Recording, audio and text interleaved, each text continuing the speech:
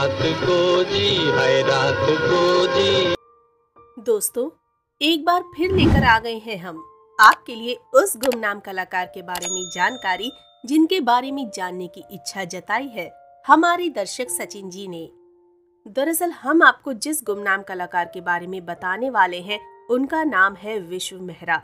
जी हाँ कपूर खानदान का वो चिराग, जिसने बड़ी ही ईमानदारी से सात दशकों तक काम किया।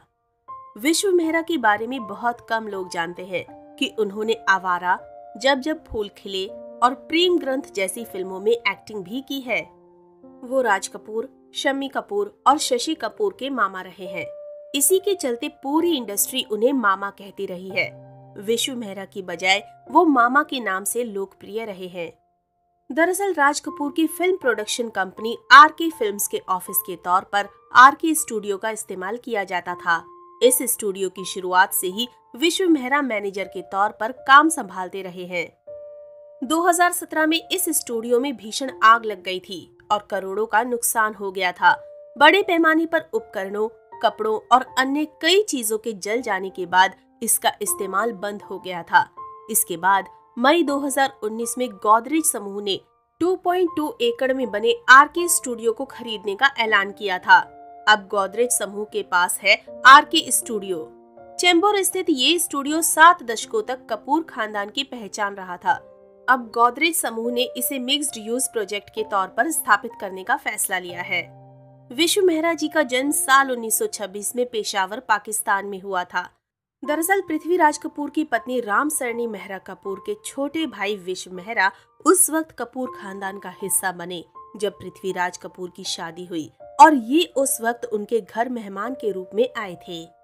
शादी के बाद सभी मेहमान तो अपने अपने घर पेशावर रवाना हो गए, लेकिन विश्व मेहरा अपनी बहन का घर छोड़ना ही नहीं चाहते थे, क्योंकि उन्हें पृथ्वीराज कपूर के संग काम जो करना था। कहते हैं ना, किस्मत में जो लिखा होता है, वो खुद चलकर आता है, और ऐसा ही विश्व मेहरा जी के साथ भी हुआ। अपने साले साहब के साथ उन्होंने काम करने का मन बनाया।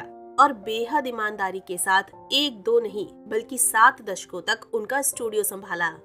विश्व मेहरा, जिन्होंने पृथ्वीराज कपूर के साथ अपने काम की शुरुआत की, उन्होंने अपने भांजे को अपनी आँखों के सामने बड़ा होता देखा। राज कपूर जी की जब शादी हुई, उसके अगले ही साल उन्हें जिम्मेदारियाँ संभालनी थी, इसलिए उन्होंने आर के स्टूडियो का निर्माण किया और उस स्टूडियो का मैनेजर रखा गया विश्व मेहरा जी को।